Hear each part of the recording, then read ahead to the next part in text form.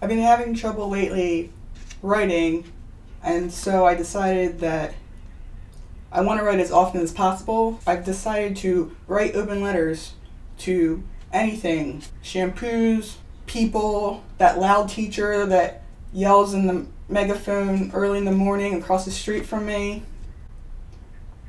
and read them for you guys because sometimes you can't get my tone when it's in writing. So, here's my first open letter to future open letters. Dear open letter, Hi, you don't know me, but I know you. I also know that the previous sentence sounded creepy. It wasn't meant to be. I guess I should forewarn you that things I often say that sound creepy, but they aren't, is just due to the tone and my face.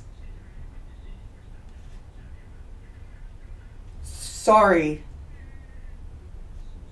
Also, I'm aware that the wall in back of me